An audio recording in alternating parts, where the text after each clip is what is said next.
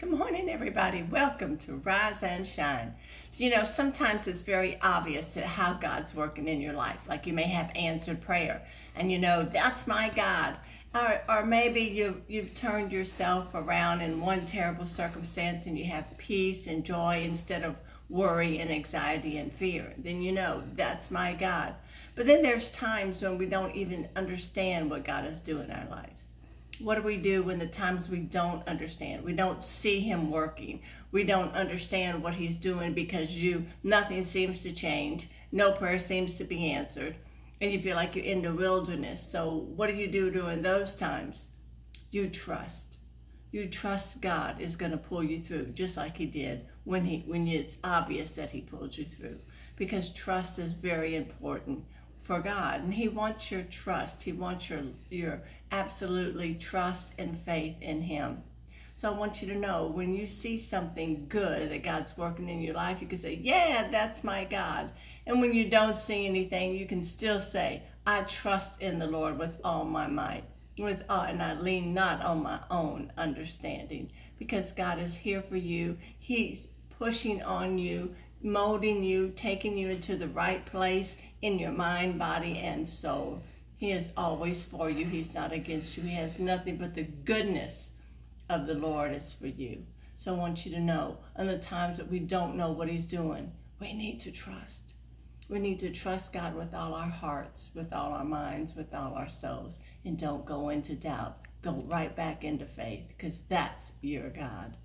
Let me pray for you if you're having problems and you're kind of walking in between, I don't know what he's doing in my life. Let's pray. Oh, Heavenly Father, I don't know what's happening in my life. I don't know. I feel like I'm walking through these circumstances for a whole year, for two years. I feel like I am struggling so much just to keep my head above above all the sorrow and the pain and the fear that I have.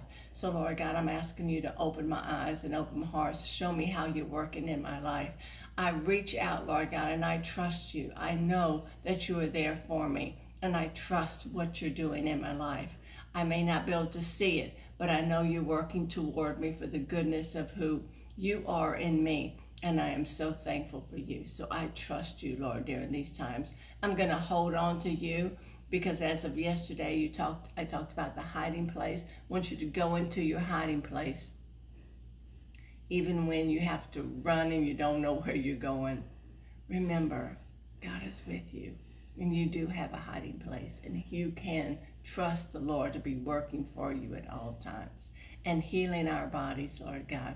We need healing in these bodies. So, Lord, your word says, I sent my word and I've healed thee and I have healed thee. So, Lord God, I'm asking you, Lord God, to show manifested healing in, in lungs, in hearts, in cancer, in legs, in necks, in ears, in skin cancer. We ask, Lord God, that in joint pain and aching, and back trouble, Lord God, I command in Jesus' name that manifested healing shows up in this in these bodies, Lord God, that are waiting for you and holding on to you. Show them, Lord God, that you are a mighty God and heal them in every way. Amen and amen. I'll see you tomorrow. Goodbye.